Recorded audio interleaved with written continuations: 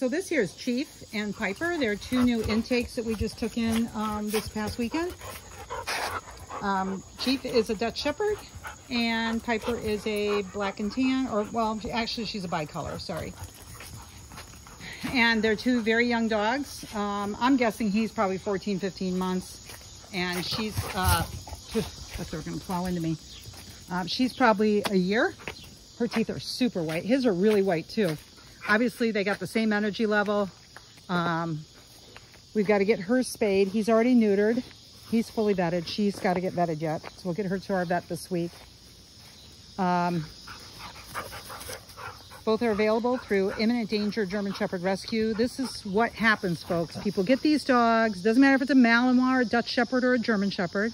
They get these dogs. They do no training with them. They buy this cute little puppy.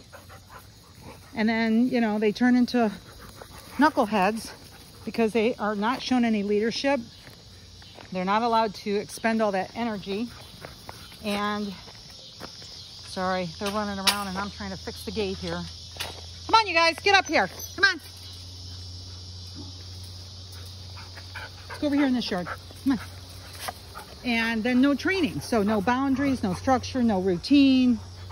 You get people who have problems in their life and they should have never got the dog to begin with and they think this will solve their issues and it does not. It's a chronic epidemic, guys. Chronic. We're not the only rescue dealing with and facing with these problems. It's constant.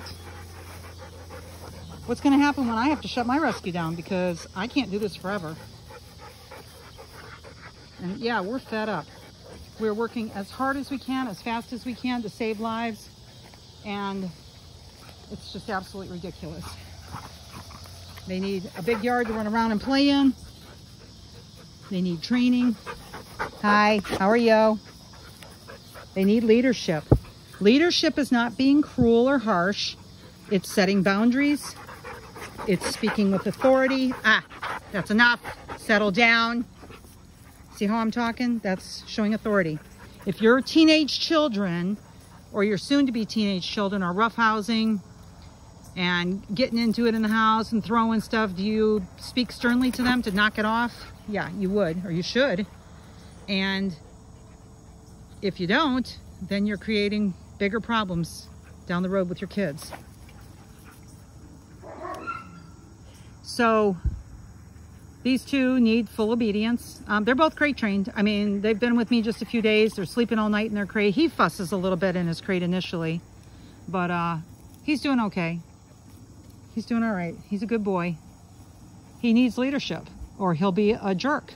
And you don't want a jerk dog. You want a dog who has good manners and you have to put work into it, folks. You cannot have a dog like this without setting boundaries, having structure, having a routine, and then training. It's everything. This is like adopting a kid. And, and you want to have a good relationship with your dog, you want to have a good experience, then you need to work with your dog. Otherwise, don't get one. I just can't emphasize this enough because we just deal with this constantly. Hi, you're a good boy. Sit. Sit. Sit, sit.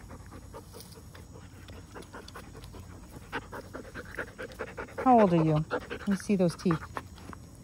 They're pretty white. Maybe he's two years old. I don't know. At any rate, Chief is available for adoption through Imminent Danger German Shepherd Rescue, and Piper's available too It's gonna be a couple weeks probably before we can get her spayed. We have some spay and neuter appointments uh, this, well, one this week that's got another dog going in and then some others for next week. So we'll get her in as soon as possible. Please fill out an application on our website if you're interested in a great hiking partner.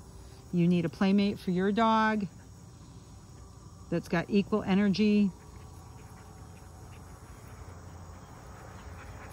You know, it's like a UFC uh, wrestling match when you have dogs like this. They're going to wrestle and romp and play hard. Hi, how are you?